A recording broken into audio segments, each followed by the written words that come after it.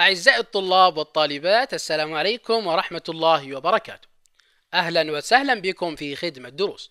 عنوان درسنا اليوم حساب الزمن المنقضي لمادة الرياضيات الصف الخامس الابتدائي. فهيا نتعلم جمع وحدات الزمن وطرحها. دعونا ننتقل الآن سويا إلى التمهيد التالي. ما الوقت الذي تشير إليه الساعة؟ لدي هنا ساعة وسألني ما هو الوقت الذي تشير إليه الساعة؟ ماذا تسمى هذه الساعة؟ أبطال ساعة العقارب ممتازين. أين عقارب الساعات؟ أبطال هو العقرب القصير. هذا هو عقرب الساعات. وعقرب الدقائق؟ أبطال هو العقرب الطويل. الآن من يجيب كم الساعة؟ ممتازين. أبطال زميلكم يقول ألاحظ أن عقرب الساعات لم يكن على الساعة الثانية تماما. يتبقى عليه عشر دقائق حتى تصبح الساعة الثانية تماما. إذا الساعة الآن هي الساعة الواحدة وخمسون دقيقة مساء. سؤال آخر. كم سيكون الوقت بعد ساعة؟ من يجيب؟ ركز جيدا. كم سيكون الوقت بعد ساعة؟ أبطال سيكون الوقت بعد ساعة اثنان وخمسون دقيقة مساء كيف أتيت بهذا الجواب؟ بطل زميلكم يقول أضفت ساعة كاملة إلى الساعة الحالية الآن الساعة عندي واحدة وخمسون دقيقة قمت بإضافة ساعة واحدة فأصبح عندي الساعة الآن الثانية وخمسون دقيقة مساء. بعدما لاحظنا هذا التمهيد البسيط الشيق دعونا نتعرف إلى مفهوم الزمن المنقضي. الزمن المنقضي هو الفرق بين زمن بداية الحدث وزمن نهايته. كلمة الفرق تعني عملية الطرح بين زمن بداية الحدث وزمن نهايته. خذ زمن النهاية اطرح منه زمن البداية سيعطيك الزمن المنقضي. من خلال الأمثلة تتضح الفكرة أكثر. مثال واحد. وصل محمد إلى المكتب الساعة السادسة وخمسة وأربعون دقيقة مساء وغادرها الساعة التاسعة وخمسة وخمسون دقيقة مساء. ما الزمن الذي قضاه في المكتبة؟ ركز جيدا في السؤال. المطلوب مني ما الزمن الذي قضاه في المكتبة؟ إذا لدي الآن شيئين لابد من تحديدهم زمن البداية وزمن النهاية وصل محمد إلى المكتب الساعة السادسة وخمسة وأربعين دقيقة مساء بما أنه وصل هذا يسمى زمن البداية أبطال إذا زمن البدء الساعة السادسة وخمسة وأربعون دقيقة مساء. وغادرها الساعة التاسعة وخمسة وخمسون دقيقة مساء. غادرها يعني زمن النهاية. إذا زمن الانتهاء الساعة التاسعة وخمسة وخمسون دقيقة مساء. إذا أنا حددت زمن البدء من السؤال لأنه وصل المكتبة الساعة السادسة وخمسة وأربعون دقيقة مساء. وغادرها هو زمن الانتهاء. الساعة التاسعة وخمسة وخمسون دقيقة مساء. الآن أرغب في معرفة الزمن الذي قضاه في المكتبة. كم قضى من وقت في المكتبة؟ من الساعة السادسة وخمسة وأربعين دقيقة حتى الساعة التاسعة وخمسة وخمسون دقيقة مساء. إذا نقوم الآن بالخطوات التالية. نكتب الدقائق والساعات. زمن الانتهاء الدقيقة خمسة وخمسون والساعة التاسعة. ناقص زمن البدء الدقائق خمسة وأربعون والساعات ستة. إذا لاحظ معي كتبت الدقائق والساعات. زمن الانتهاء مطروحا منه زمن البدء. إذا اطرح الآن الدقائق من بعضها البعض. واطرح أيضا الساعات. الآن نقوم بإجراء عملية الطرح. خمسة ناقص خمسة تساوي صفر. ممتازين. وخمسة ناقص أربعة بواحد. إذا خمسة وخمسين ناقص خمسة وأربعين بعشرة. نأتي الآن إلى الساعات. تسعة ناقص ستة تساوي ثلاثة. إذا لو تلاحظ معي الساعات ثلاثة والدقائق عشرة. إذا أستطيع أن أقول أن محمد قضى ثلاث ساعات وعشر دقائق في المكتبة.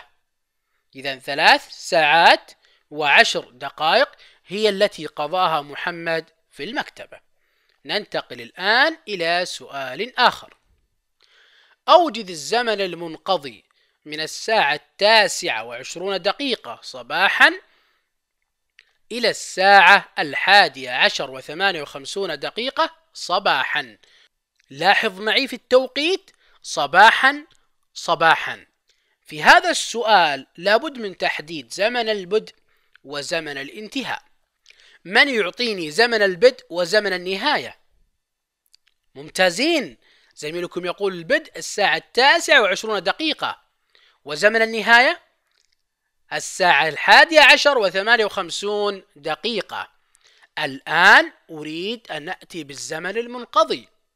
أقوم بكتابة الدقائق والساعات.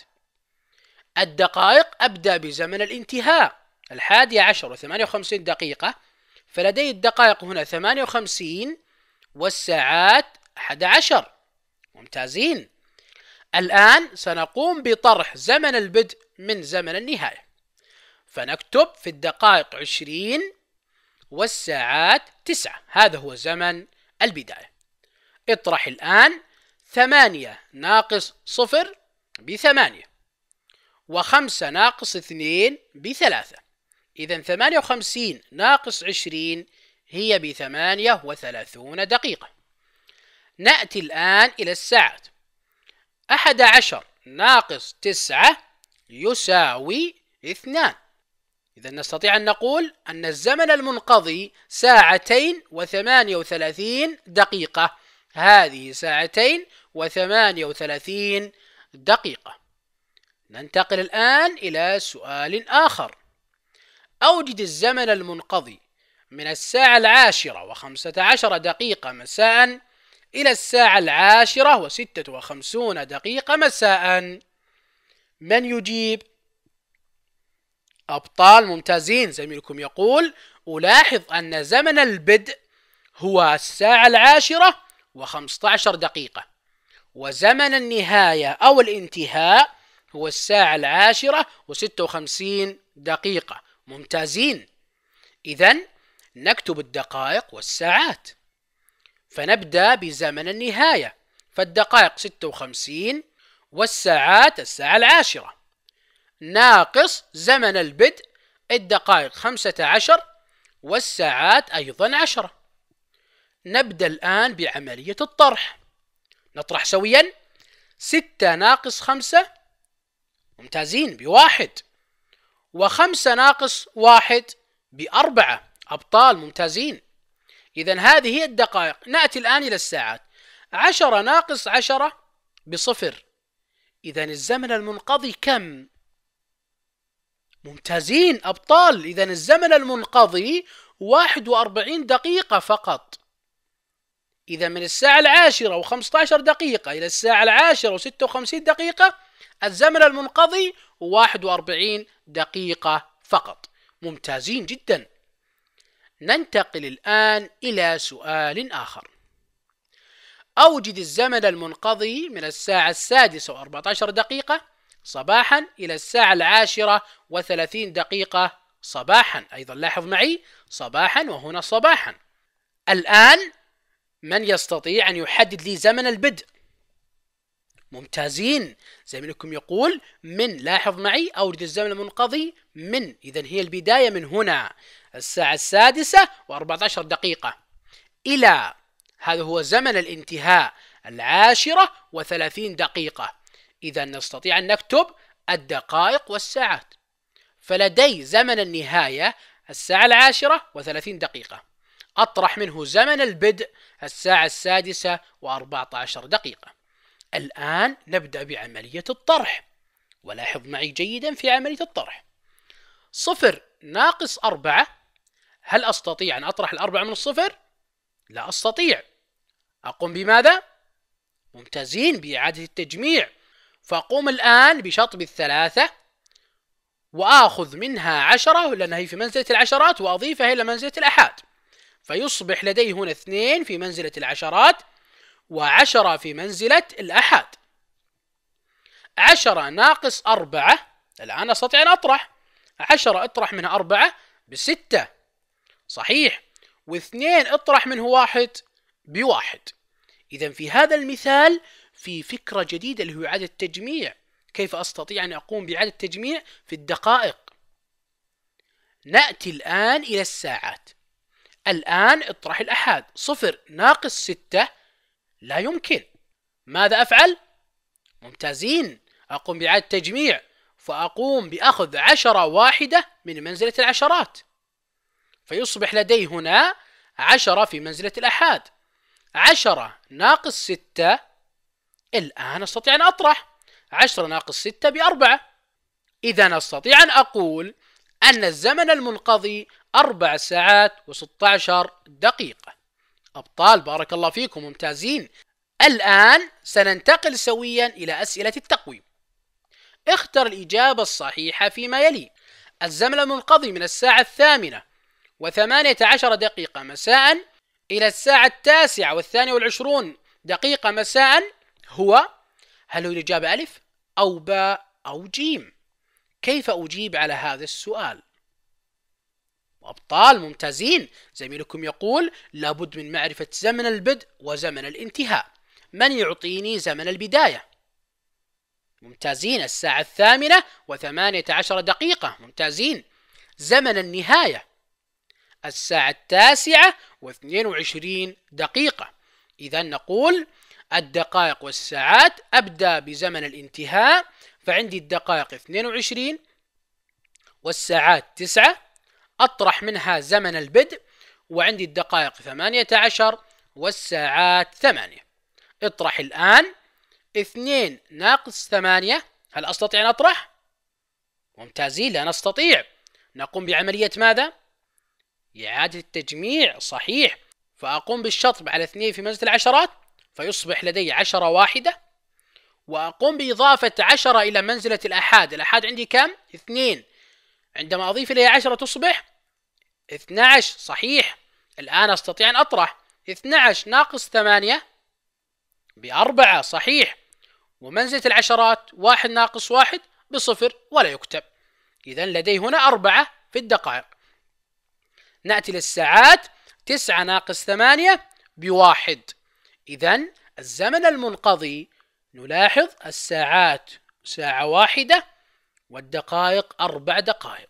إذا لاحظ الجواب الأول ساعة وأربع دقائق. إذا الزمن المنقضي ساعة وأربع دقائق. أين الإجابة الصحيحة؟ أحسنتم هي ألف ساعة وأربع دقائق. الآن بعدما استعرضنا الأمثلة والتدريبات وأسئلة التقويم دعونا نلخص درس اليوم. تعلمنا اليوم جمع وحدات الزمن وطرحها. الخطوة الأولى اكتب الزمن بوحدتي الساعة والدقيقة. الخطوة الثانية اطرح زمن البدء من زمن الانتهاء. الخطوة الثالثة اطرح الساعات من الساعات والدقائق من الدقائق. إلى هنا وصلنا إلى نهاية درسنا لهذا اليوم. أسأل الله العلقد لكم التوفيق والسداد. في أمان الله.